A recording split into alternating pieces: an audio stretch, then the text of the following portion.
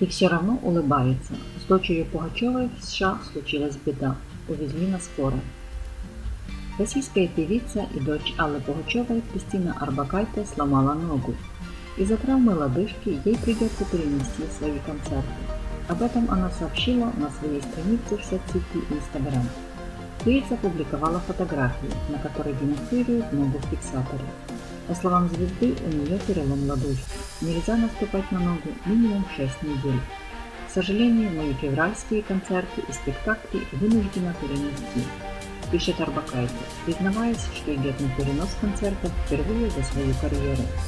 Известно, что сейчас Арбакайте находится в США вместе с мужем Михаилом Земцовым и семилетней дочерью Клавдией.